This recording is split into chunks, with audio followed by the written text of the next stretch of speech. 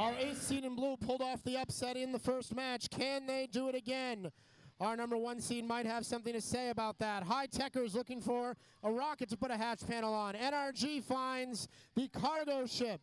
Hatch panel no good for Rain Robotics as the Robototes come in with cargo. Spartabot's the only ones able to place hatch panel in the Sandstorm period for blue, but the Blue Alliance now all square with red, 22 apiece, as drivers now with full visibility.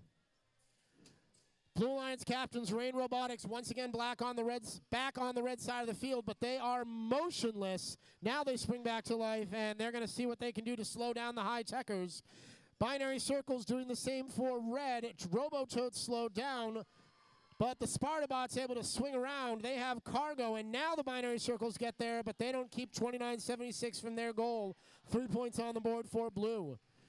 NRG having a tough time with Rain Robotics and 5588 manages to keep that cargo out of the cargo bay.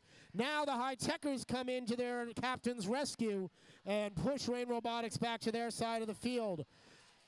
Three point lead for red, 33 to 30 as we come up to a minute and 10 to play and big collisions happening here on the rear side of the field as five of our six robots all in very close confines.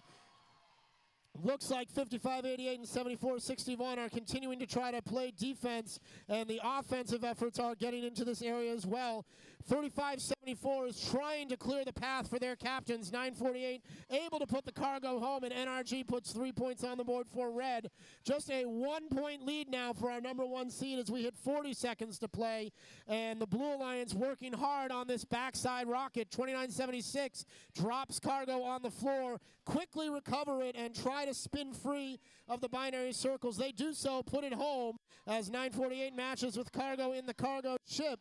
And that sound you just heard means it's time to climb. 24-12, the first up in the air. They are clear on level three. High techers are a little bit wobbly, but they get there as well. 948's on level two. Spartabots and Rain both on level one. Binary circles yeet their way to level two. And as time expires, this one is close. We're going to let our referees figure this all out, and we'll have your official final scores in just a moment.